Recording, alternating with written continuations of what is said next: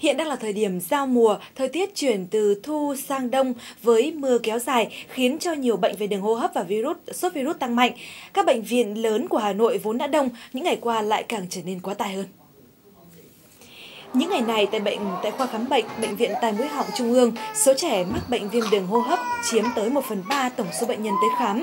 Các bác sĩ khuyến cáo cha mẹ khi thấy trẻ có biểu hiện ho, sổ mũi, thở nhanh, sốt, bú kém cần đưa đến ngay các trạm y tế, nghiêm cấm tự cho trẻ uống thuốc dẫn đến biến chứng nguy hiểm. Thời điểm giao mùa, trẻ hay bị các bệnh về đường hô hấp với các triệu chứng như nghẹt mũi, sổ mũi, đôi khi kèm sốt hoặc nhức đầu nôn. Nguyên nhân chính là do ở lứa tuổi này, sức đề kháng kém, cơ thể nhạy cảm với những thay đổi của thời tiết, dễ bị các virus vi khuẩn tấn công.